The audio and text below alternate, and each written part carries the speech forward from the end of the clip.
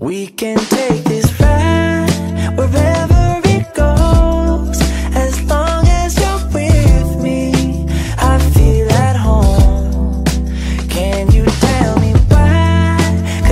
afternoon everyone! Welcome back to my channel. Today is Saturday at nakaluto na tayo at kumain na si Master. Niluto ko na siya ng pagkain niya. Ngayon si Noah naman, iluluto ko siya ng tofu hamburger. Yung tofu hamburger na yun, bali nakita ko siya sa ano sa TV kaninang umaga sa news na napakadali ng kanyang recipe. Kaya naisip ko kanina na na ako. Tapos naisip ko na ano, gawin yun at pakita rin sa inyo para yung mga nagmamadaling nanay, mga nagdadi, mama, nagmamadaling okasan dito sa Japan, pwede nyo siyang iluto, napakadali niya. Ewan ko lang kung may ingredients nito sa Pilipinas, pero tawag dito, madali lang siya. Nilalagyan ko ng ganito yun. Kasi, nilalagyan ko ng ganito. Oh. Kasi tawag dito, pag nagluluto ako, bumababa siya. Medyo masalimuot ang nangyayari. At kaya lagayan natin siya ng ganyan. So, bali, mag-start na tayo. These are my ingredients. Meron tayong ah, daikon, ginadgad. Ang tawag dito is daikon oroshi. Meron tayong amanegi. Ang tawag dyan dito sa Japan. Yan ay onion. Tapos, table salt. Meron din tayong ano, black pepper. Tapos, merong mentsuyu. Ngayon, kung wala kayo niyan, pwede namang ano na lang, tawag dito, pwede namang toyo na lang. Ayan. Ito ang tofu. Yung moment siya, hindi siya yung silky. Tapos, meron tayong hampin. Itong hampin na to ay gawa sa isda. Ayan. Yan, ilalagay natin yan. So, bali, tinansya ko na lang kasi nakita ko sa TV, hindi naman ganyan yung pagkakaano niya. Pero, alam nyo, trinay ko to masarap. Kaya sabi ko, ulitin kong gawin. Ayan. Ayan ang mga ingredients natin. So, simulan na natin. Kailangan nating ta ano, palabasin ang tubig niya. Kaya kinakailangan, meron kayong kitchen towel. Pagkatapos, iwanan muna natin siya ng kahit mga 5 minutes. Ganito ang itsura niya. Kailangan natin siyang iwan. May lahat ng ano niya, tubig niya lumabas. So, bali, iwanan muna natin siya.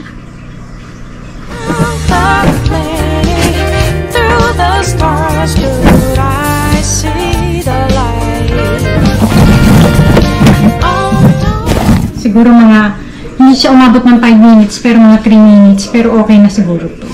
Ngayon, magugas muna ako ng kamay. So, ang gagawin natin ngayon, ilalagay ko siya sa bowl.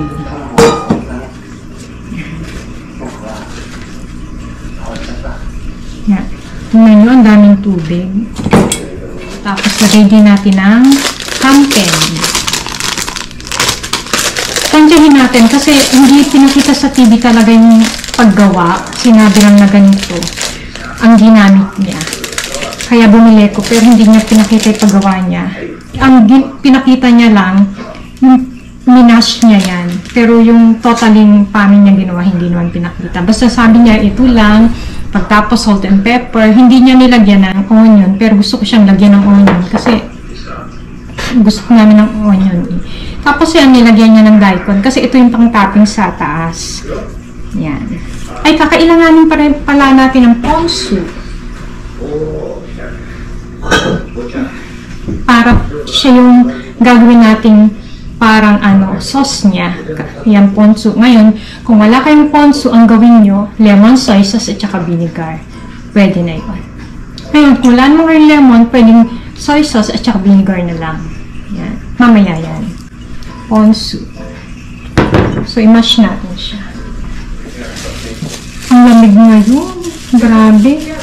Alam niyo, nagmamadali ako maglaba. Kaya, ka, kaya kahit na nagluluto ako, naglalaba pa rin ako. Kasi bukas, baka raw mag-yuki. Ibig sabihin ng yuki ay snow. Baka raw mag-yelo bukas. Kasi sa umaga, yung sasakyan talaga namumuti. Yung yelo siya, nag-yelo. Tapos pagka lumabas ka, umuusok ang bibig mo. So, ayan. Ngayon, pagka nakita kong hindi pa siya, hindi pa siya ganun yung parang pwede mong i-mold, naghihiwa-hiwalay siya, lagay pa natin yung isang hampin. Tingin ko hindi siya mabubuo. My God, sana naman hindi siya palpak. hindi siya mabubuo, kaya ang gawin natin, Lagay pa natin itong isa. Alam mo, first time ko lang kumain ito. Sabi ko kasi, ano to? Hindi ko siya kilala. Pero alam yung masarap pala ito. Tapos gawa pala siya sa isda. Hindi naman ako masyado sa isda, kaya lang minsan, pagka mga ganyan, yan. Kasi, ako nasasarapan ako sa hampin nila, lalo na pag nakalagay siya sa udon. Masarap siya. Tapos, anuhin na rin natin siya. Lagyan na, na, lagay na natin yung onion. Tapos, lagyan na, rin, lagyan na rin natin siya ng salt and pepper. Alam niyo, ma-pepper kami, ha? Kaya, baka sabihin niyo over yan. Pero talagang, sa mga hindi mahilig, over ang tingin talaga nila. Tapos, lagyan na natin ng salt. Huwag naman masyado kasi tawag dito, lalagyan pa natin ng mentsuyu. Ngayon, kung wala kayo nito, sabi ko nga sa inyo, pwedeng toyo. Soy sauce na lang. Yan. Pagkatapos, imasa na natin siya ulit. Imasa, di ba? Parang tinapay. Alam niyo, di ba kanina nilagyan ko ng ano dito? Namamanid yung kamay ko. Kasi tawag dito, ang lamig. Tapos pagkain mo, parang napipigil yung ugat. Yan.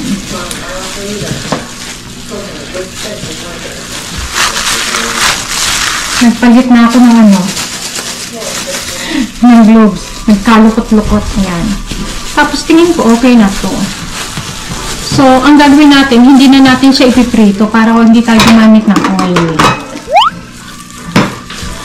Ang gagawin natin, air fry natin siya. Yung itsura niya. Bumaba na yung anak ko.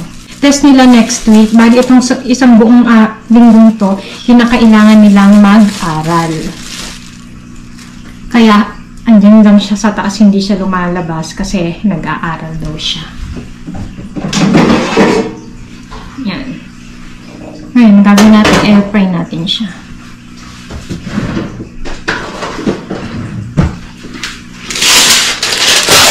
Alam niyo siguro nagugutom na yan. Kasi kanina ang kinain niya lang strawberry, tapos yung smoothie, tapos yung juice.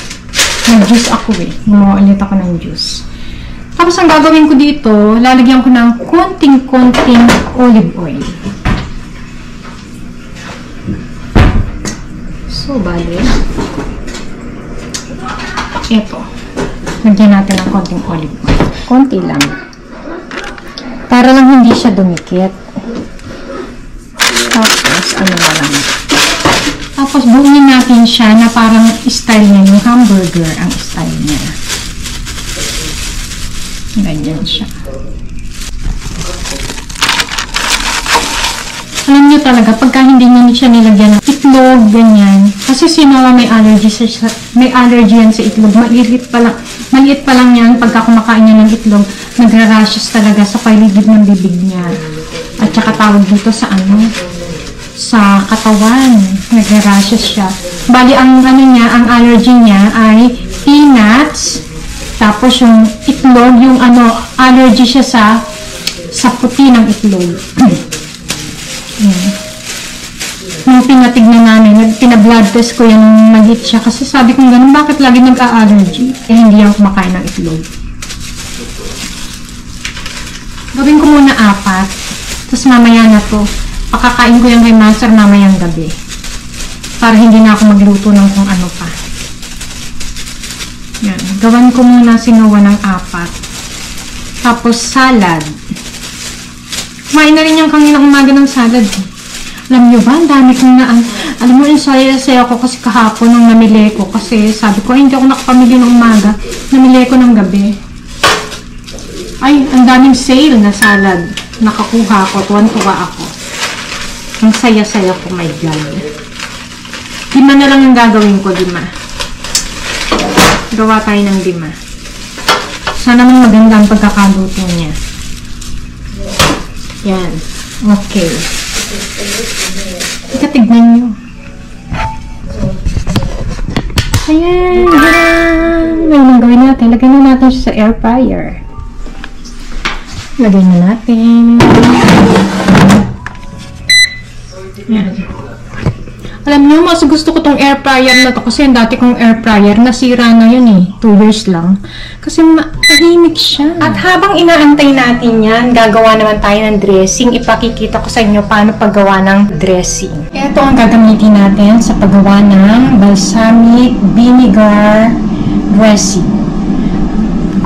Kung ayaw mo ng oil, pwede nyo tanggalin ng oil. Pero yung mga gumagamit ng oil, pwede kayo ng olive oil. Ang ginagamit namin ay ang flaxseed oil. Minsan hindi ko nilalagyan. Kasi pagka minsan ayoko ng ma-oil.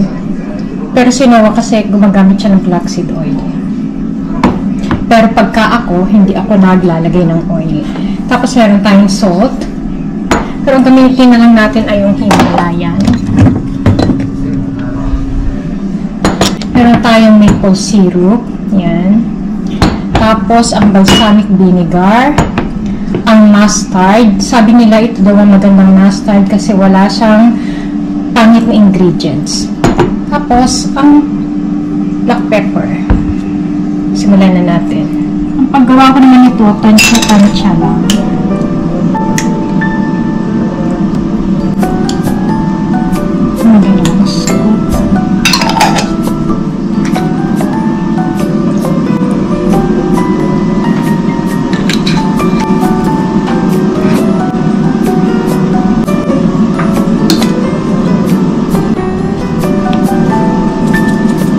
Medyo madami ang salt kasi pagka nilagay yan sa ano sa salad, hindi na siya mm, maalat. Konti lang ito kasi yung mustard medyo hanghang. Tapos mix nyo lang. Pwedeng ganito lang siya, hindi nyo lagyan ng oil. Yung mga gusto ng may, ano, may oil, nire-recommend ko olive oil at saka pinaka-best talaga itong flaxseed oil. Tapos ito cold press siya. Kasi ano siya, mataas ang omega-3 niya. At ang omega-3 maganda sa katawan, anti-inflammatory. Yan. At dahil nga si Noah, gusto niya ng may flaxseed oil kasi mas masarap daw pagka may flaxseed oil. Lalagyan natin siya. Yan. Mga 1 tablespoon lang. Try kong tikman kung anong lasa niya.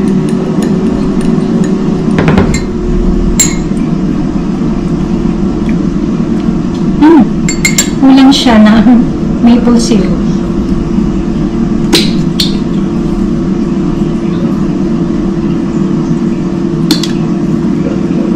At saka konting balsamic vinegar. Tikman natin. Okay na siya. Good. Tapos alam niyo ba, pakita ko sa inyo salad.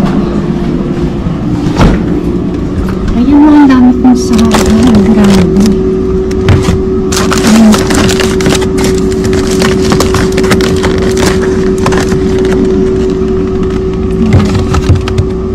Meron tayo ditong quinoa. May salad pa rin ako dito. Ayan. 50% off yan. Tapos, may salad pa rin ako dito. So, babalik gagamitin natin ito. At saka ito. Tsaka quinoa. Balik na natin ito.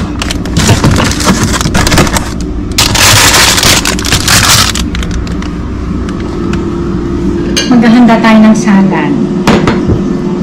So, maninis na kamay ko. Nagugas ako ng kamay.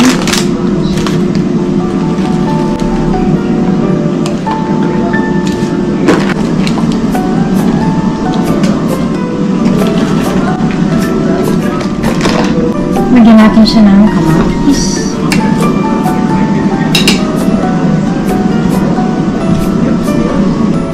Ako yung battery ko nauubos na. Lagyan natin siya ng paprika. Itong paprika ko, hiniwa-hiwa ko na siya. Tapos nilagay ko na lang siya dito sa loob. Tapos meron tayong cucumber. Ito. Para maluluto siya. Japanese cucumber. Inugasan ko. Tapos, lagay na. Hindi namin dali po kasi maano nalulubat na ako. Ano ba yan?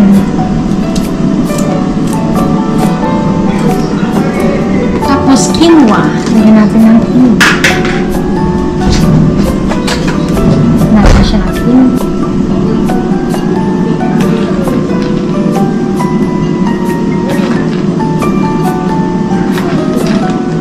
Tapos lagyan na natin siya ng dressing. Nakikita ba? Lalagyan natin yung dressing.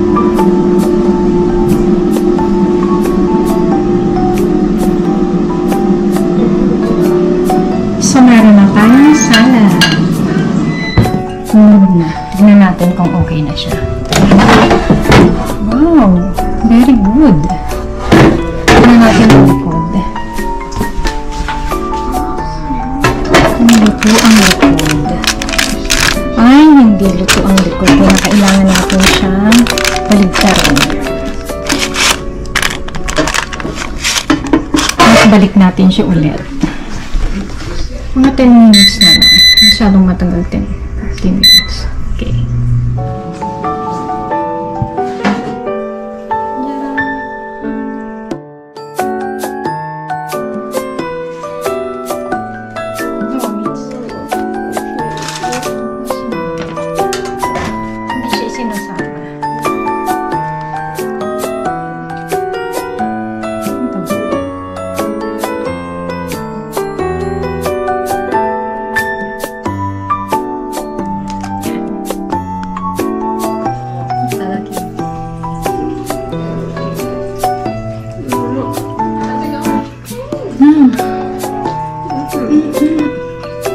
Ang sarap.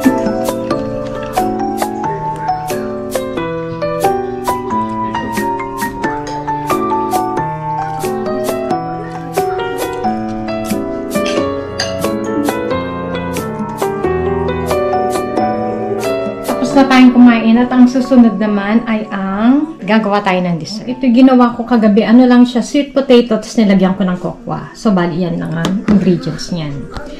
Tapos meron tayong coconut. Ano ba tawag dito? Yung coconut flake. Kakamayin ko na lang siya dahil nagugas na ako ng kamay. Kasi ang hirap ng pagkain sa plastic. Kami naman ang kakain. eh. Yan.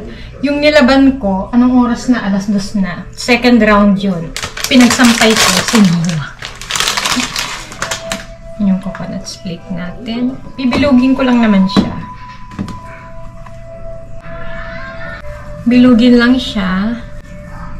Ang ganito. Tapos, i-roll lang natin dito siya sa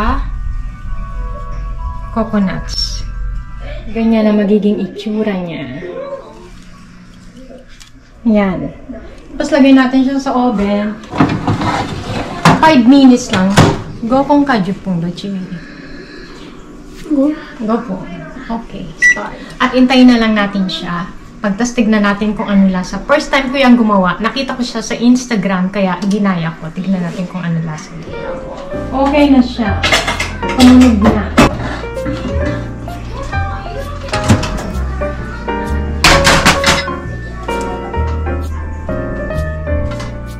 Okay. Yan, tikman na natin. At siya, ayun pa. Nanonood kasama yung ama. Mauna na akong tumikim kasi gusto ko na magpahinga. Napagod ako kanina pa. Gawa ng gawa. Tikman natin. Hmm. Alam niyo, hindi siya uminit. Ano ba yan?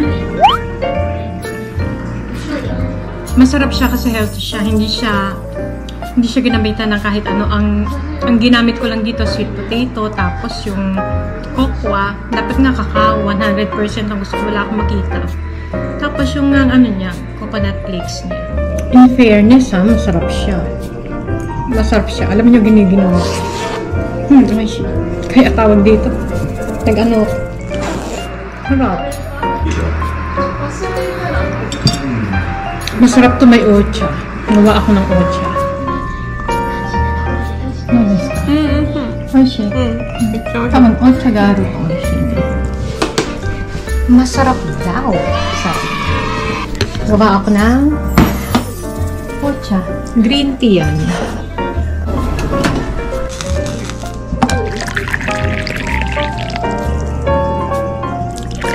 Yan, may ocha na tayo. Sabi niyo, ang sarap daw. Pero sa susunod, yung gagawin ko, gagawa ulit ako, pakikita ko sa inyo. Mas masarap siguro kung meron siya parang dinikdik na almond. Para may pagka-crunchiness. Mm. Masarap siya sa ocha.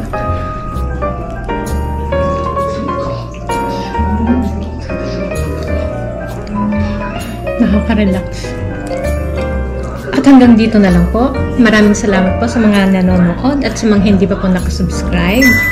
Please subscribe to my channel, like if you did, at na magkita-kita po ulit tayo next vlog. Domo arigatou gozaimashita. Thank you.